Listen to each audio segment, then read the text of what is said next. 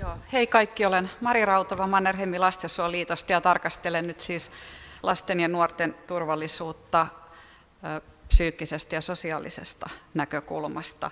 Ja meillä on yksi keskeinen asia koulussa ja päiväkodeissa, turvallisten ryhmien rakentaminen. Siinä meillä apuna kummia tukioppilastoiminta peruskoulussa ja toisella asteella tutortoiminta.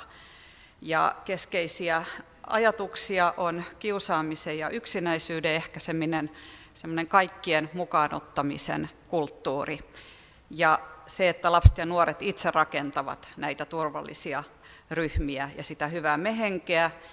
Ja koulurauha-ohjelma on ohjelma, jossa erityisesti lapset ja aikuiset yhdessä tekevät suunnitelmallista työtä, rakentavat seuraavan lukuvuoden koulurauhasuunnitelman.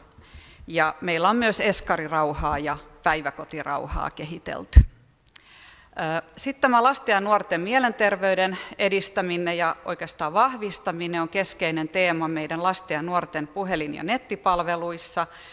Meillä on maksuton auki joka ikinen vuoden päivänä oleva palvelu, ja yhä enemmän meille ottaa yhteyttä vaikeissa elämäntilanteissa olevia lapsia, joilla on näitä mielenterveysongelmia, itsetuhoisuutta ja ja perheessä väkivaltaa tai päihteiden käyttöä. Ja se, mikä meitä erityisesti huolestuttaa, on se, että kaikki heistä eivät suinkaan ole ammattiavun piirissä. Kynnys lähestyä ammattilaisia on korkea, tai he eivät tiedä, mistä sitä apua saa. Toinen, vielä huolestuttavampikin piirre ehkä on se, että meillä on yhteyttä ottavia lapsia ja nuoria, jotka ovat ammattiavun piirissä. Saattaa olla kuusikin ammattilaista ympärillä.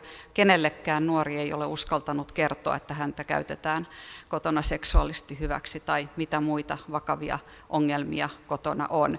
Ja olemme nyt lapsiasiavaltuutetun kanssa julkaiseet nettisivuilla tämmöisen lapsen ja nuoren kohtaamisen tarkistuslistan, jossa ajatuksena on, että ammattilainen voi vielä tarkistaa niitä omia käytäntöjä, miten hän voisi kohdata lapsen ikätasoisesti ja, ja lapsen lähtökohdilla niin, että, että lapsi voisi, uskaltaisi kertoa niistä huolistaan. Sitten meillä on myös vanhemmuuden tukea, vanhempainpuhelin ja, ja nettipalvelu.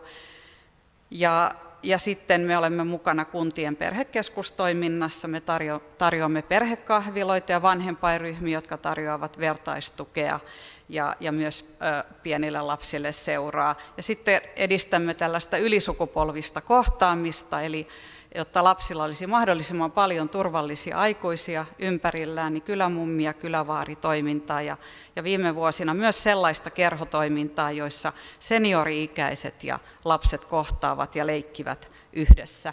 Ja sitten on tarjolla myös ihan tällaista lapsiperheille suunnattua tukihenkilötoimintaa, jossa perheeseen tulee aikuinen, joka voi sitten olla lisä, lisävoimavara perheelle. Kiitos.